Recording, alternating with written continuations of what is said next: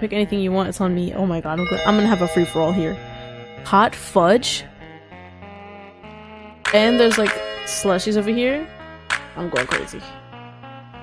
How generous of him. I looked around and decided to get ice cream.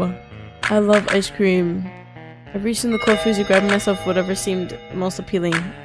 Ice cream. Alan flashed me a smile. He seemed giddy that we got the same thing. we twins.